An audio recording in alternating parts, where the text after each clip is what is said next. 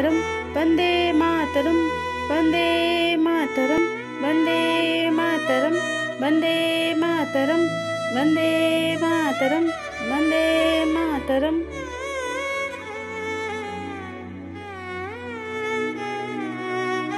মাতঙ্গিনীর হাজরার আত্মবলিদানের সেই দিনটার কথা। চুয়াত্তরটা বছর পেরিয়ে পঁচাত্তরে পা দিল সেই দিন। সেই ইতিহাসে ফিরে গেলেন। উনিশশো সালে উনত্রিশে সেপ্টেম্বর বেলা তিনটে। পরাধীন ভারতের স্বাধীনতা আন্দোলনের জন্য নিবেদিত বিপ্লবী জনতা মিছিল চলেছে এগিয়ে তমলুক থানা ও দিবানি আদালতের দিকে।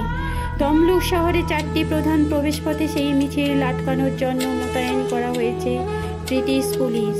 বিপ্লবীদের মুখে স্লোগান, ইংরেজ ভারত ছাড়ো, বন্দে মাতরম, গান্ধীজি কি জয় করেঙ্গে আবারও বলছে ইংরেজ ভারত ছাড়ো ইংরেজ ভারত ছাড়ো। তোমরা যারা আছো আমার পেছনে থাকো আমি সামনে থাকব। গুলি খেতে হলে আমি গুলি খাব। করেঙ্গে ইয়া মারেঙ্গে। গান্ধীজির মতন আমিও বলছি করেঙ্গে ইয়া মারেঙ্গে। বন্দে মাতরম বন্দে।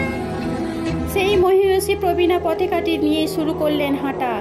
দেশ মুক্তির এক অদম্য জেদ এক বৃদ্ধার অন্তরে বাইরে সঙ্গে সঙ্গে ব্রিটিশ শাসকের পুলিশের হুমকি। খবরদার, এক পা এগোলেই গুলি করব।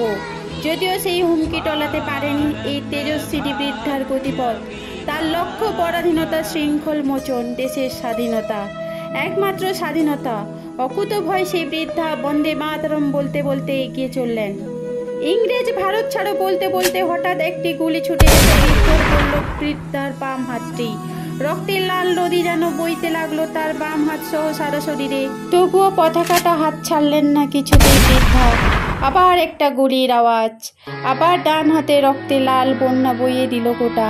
তবুও সে পতাকাটা বুকের মধ্যে আঁকড়ে ধরে রইল। করতে করতে আবার একটা গুলি বৃদ্ধার বাম সাইডে কপালের উপরে। বলতে বলতে মাটিতে লুটিয়ে পড়লেন। রক্তের স্রোত বইছে সারা শরীরে। লাল রক্তের ফোঁটায় ফোঁটায় ভিজে যাচ্ছে পরাধীন দেশের মাটি। বৃদ্ধার কণ্ঠে তবু সেই মুখরিত উচ্চারণ, বন্দে মাতরম, ইংরেজ ভারত ছাড়ো।